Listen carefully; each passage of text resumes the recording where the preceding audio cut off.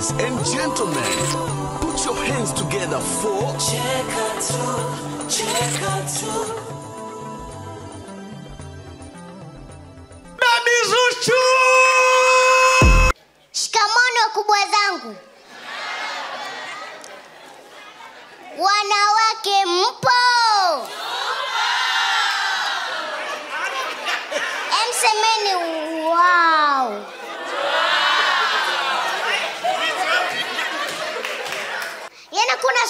Yenye utoto mwingi sana sana sana sana, kama mwaka mpya. Ngoja ifike saa sita, watu wote wataanza kupiga makelele. Wakubwa wanapiga makelele, watoto wanapiga makelele. Uwasa utoto.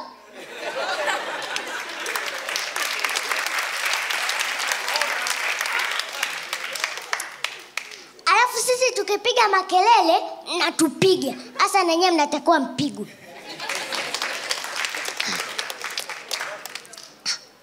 Januari ni mwezi mgumu sana sana sana, huwezi kuamini. Januari ni mwezi ambao unaofanya wazazi wote kuanza madaftari na uniform kuliko hata sisi wanafunzi.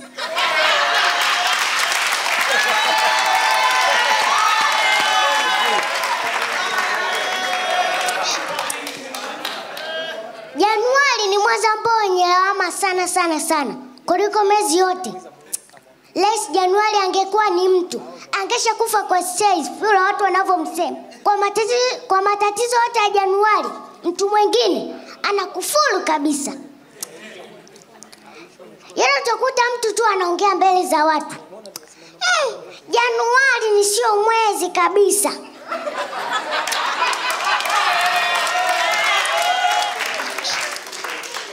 Kwa Januari ni sio mwezi, ni kimondo.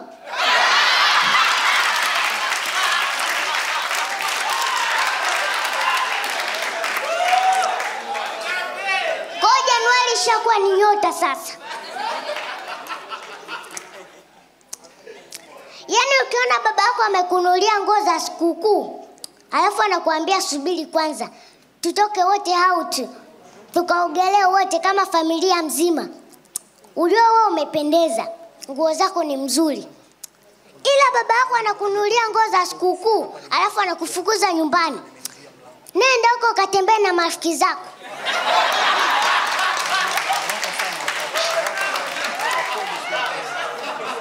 Yaani hapo anaepuka na aibu, wewe uende huko akakucheke peke yako. Usiende, ujue hizo nguo ni mbaya. Yaani kuna kitu nachokichukia sana sana sana sana. Yeye utakuta mtu mzima anafanya fanya mambo ya kizembezembe, alafu nyie ndo mnamwambia acha mambo ya kitoto wewe. Ehe, sisi watoto tumewakosea nini? Tumewakosea nini?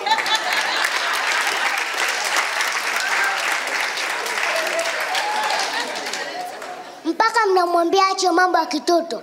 Kwa nini msimwambie ache mambo ya kikubwa? Mnamwambia ache mambo ya kitoto. Sisi watoto tumewakosea nini? Ukorofi.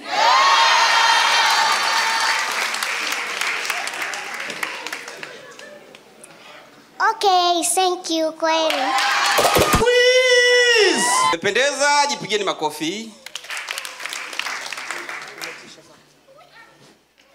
Mwezi mmoja uliopita nyuma, msanii mwenzetu katika tasnia, sio achika tu, katika tasnia ya burudani alipatwa na msiba, alifiwa na mamake.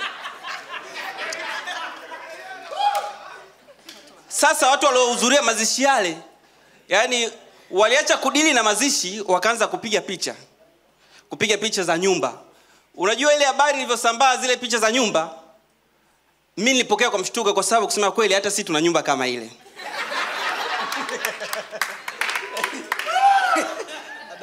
Na mbaya zaidi habari ilivyosambaa zaidi unajua ilifika kipindi wenye nyumba kama ile tuliogopa hata kufiwa jamani. Basi nikaona nsiiache ile ile habari na mi nikaiposti status. Nikaeka haba- nikaeka habari tu kawaida nikasema "Ah, watu wenye nyumba kama hii tunaogopa hata kufiwa. Kumbe baba aliona ile status baba kaona status akachuna kumbe ilimuuma. Akarekebisha nyumba yake akaipamba vizuri. Naye hakuniacha hivi hivi. Akaipiga picha akaweka status. Akasema ya nyumba hiyo tayari ishapendeza naikufa afe.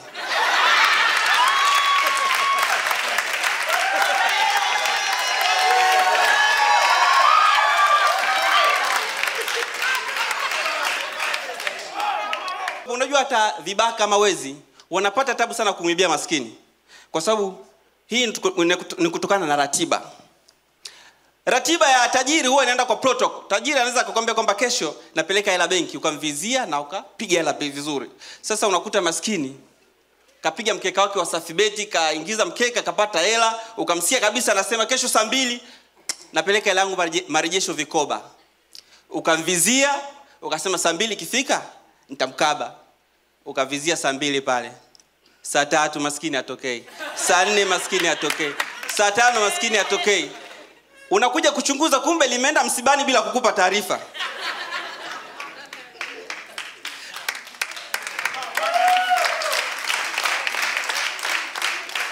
Hizi tabia zipo hata kwenye nanii ujue sasa hivi ni mwaka mpya si ndio? Huwa kunatoka kalenda mpya. Sasa hapa ndio utapojua wachapa kazi na wavivu mchapakazi akiangalia kalenda mpya huwa anaangalia kwa ajili ya kuweka matukio maalum kwamba tarehe hii nitafanya hichi tarehe lakini ile livivu la kazi likiangalia kwanza linaangalia sikukuu zinaangukia siku gani?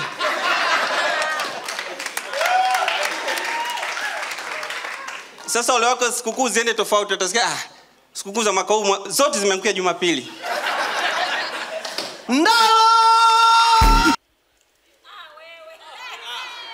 watu oh, ndalo hawezi magic. Na hivyo nimetokea ambao mko mtarajii.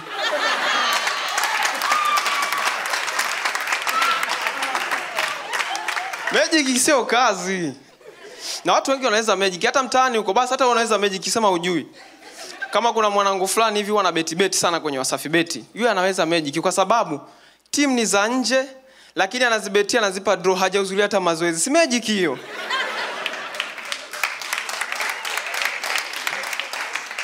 jamani kuna wanasayansi sayansi mwao wote ni wanadamu tu?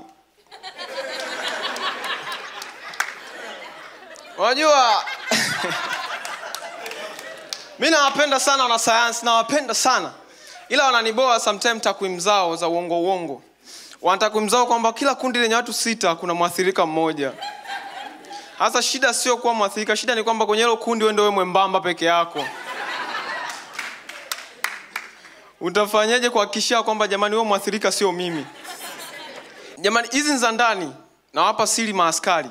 Tanzania jamani. Maaskari tujuane. Nawapa siri hapa.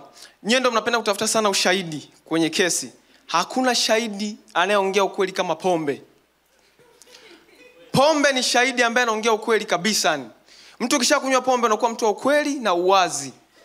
Hakuna kuficha ficha hasa kuna jamaa aliiba ali- bana askari wakamwangalia wakasema huyo tumkamate. Sasa hivi akamsubiri akalewa kwanza ndo wakamkamata. Walivyomfikisha pale ndani wakamuuliza sasa tuambie umeiba hujaiba? Akaangalia sikatai nimeiba ila nikisema ukweli nyewe mtaniua.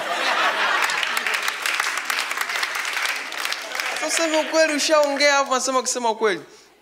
Mtu ambaye akuamini kwenye kitu chochote ni simple kumjua. Hata ajifiche vipi ni simple kumjua. Mtu ambaye akuamini ni simple sana sisi kanisani kuna mchungaji anatuambia kwamba ukiwa na mungu ndani yako unamwamini kweli kweli. Yaani haina haja ya kutembea na mtu hata kwenye giza nene unatembea peke yako unajiamini. Haina haja. Hasa kafundisha lile neno. Hasa hii siku ndo nifaa mi nikajua mchungaji aniamini baada ya neno kuisha pale mi nimetoka zangu.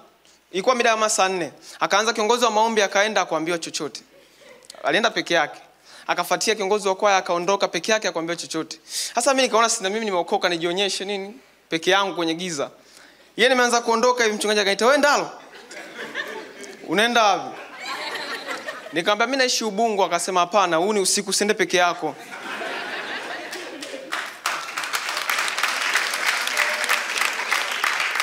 Nikamwambia lakini mi nimeokoka. Akanambia sawa najua usiende peke yako wakikufanya chochote usije ukasema umetokea kwangu. Eh, nikaona sasa kumbe ni hatari kumbe siaminiki. Na matatizo mengi yanawakuta watu daadaa hapa hivi. Chanzo huwa ni ndugu na wazazi. Wanakuponza bila wenyewe kujua. Kuna ile huko daa maisha anakupiga maisha magumu.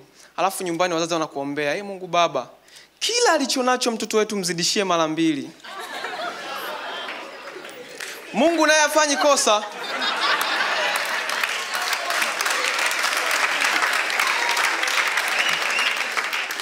mungu naye afanyi kosa anajibu maombi maisha anakupiga kiasi kwamba kila semina inayohusu kujikwamua ukosi thank you so much guys my name is Dari.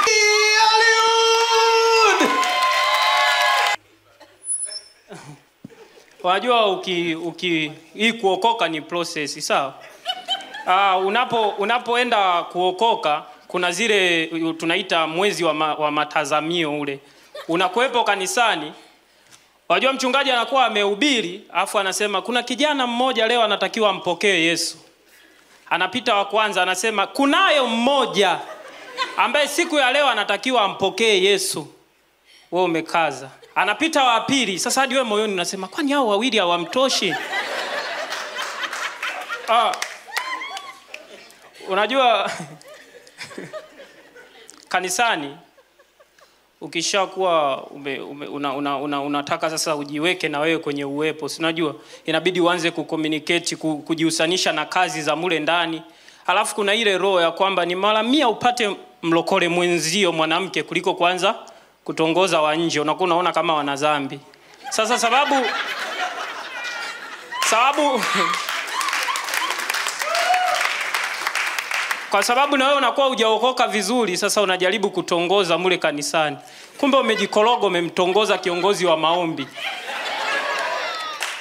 Sasa jioni wamesema okay, vijana tubaki. Unakuta kiongozi wa maombi anasema jamani, leo tunaenda kukemea roho ya uzinzi.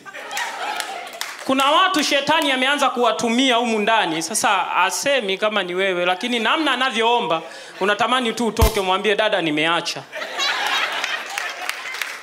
Uh, ladies, jamani, muwe na confidence. Mwanamke ni kujiamini.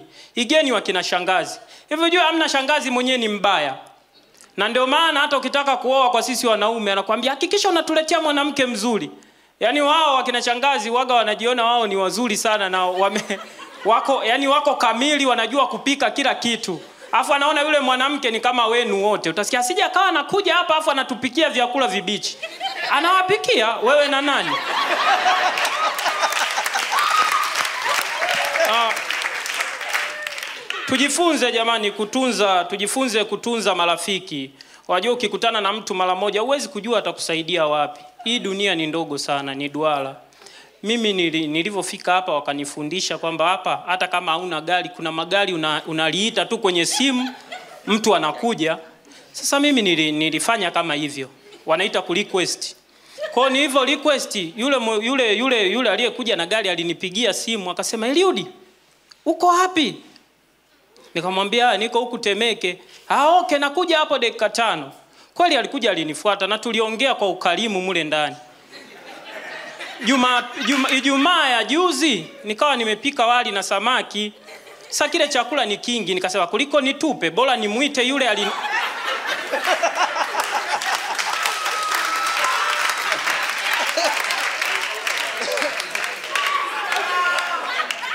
Sasa nikasema yule ni mtu ananijua kumbe na jina. Hiki chakula ni kingi. Kwa hiyo na mimi nikampigia moja kwa moja nikijua amenijua jina. Nikamwita tu. Halo. Eh, njoo Makongo. Kwa akafika Makongo akasema niko nje kwenye gari. Ah, usikae kwenye gari, ingia ndani. Kwa amefika ndani, yeye anajua mimi ananisubiri. Kumbe mimi nasubiri tule naye. Kwa tulikula siku ile alafu bado akawa anadai hela. Watu wa mji huu hawapendeki. Asante, naitwa Eliudi Samueli. Eh, nilipokuwa form 1A niliwahi kuvuta bange kwa mara ya kwanza, lakini niliacha. Kwa sababu baada ya kuvuta bangi nikagundua bangi kama haikupendi inakuendesha inavyotaka yenyewe, sio unavyotaka wewe.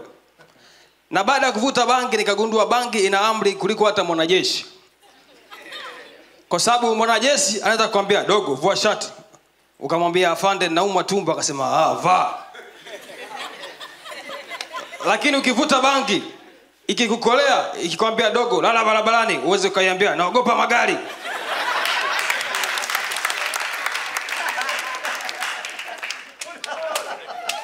Kwa hiyo nilivyovuta bangi ilivyonichukua bangi ikaniambia dogo una mimba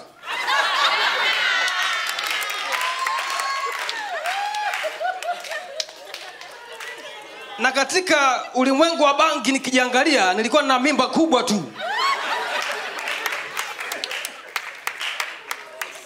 Kama ya miezi nane hivi. Pale pale bangi ikaniambia unasubiri nini kwenda kliniki? Sasa wakati naenda kliniki nikaanza kujiraumu inamaana wanaume wamenipa mimba wamenitelekeza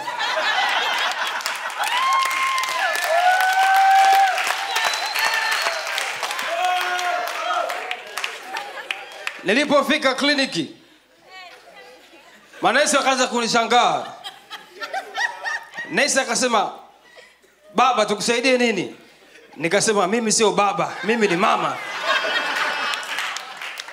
Tena sio mama tu mama kijatu.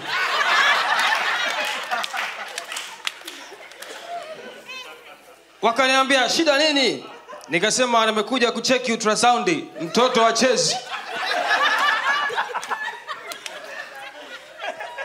unajua bangi huwa inaisha kwa surprise kichwani. Yaani bangi ipo kama jiko la gesi tu. Gesi ikiwa inaisha haisubiri umalize kupika. Na sasa baada ya bangi kuisha pale ndo nikaonekana mtukati kati vipap nikarudi kwa yule jamaa aliyenifundisha bangi. Kanaambia dogo ulichemka ulitolea moshi puani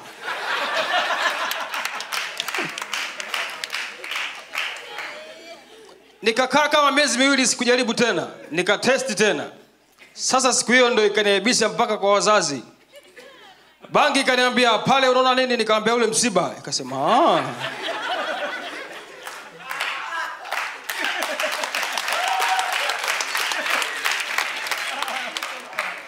bangi ikaniambia twende msibani baada ya kufika msibani nikataka nikae nje. Baki kasema twende kwa wamama usikae nje. Nimefika kwa wamama banki kaniambia sasa wanafanya nini? Nikasema wanalia. Yenyewe kasema cheka. Mnafahamu majini ya bongo muvi anavyocheka katikati ya msiba kwenye mikeka ya mama nikapiga ha, ha, ha, ha.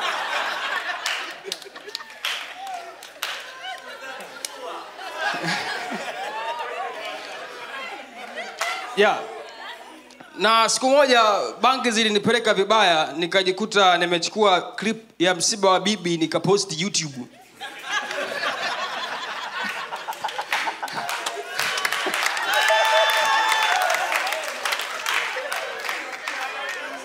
Alafu nikaanza kuambia wakina shangazi wa subscribe. Thank you.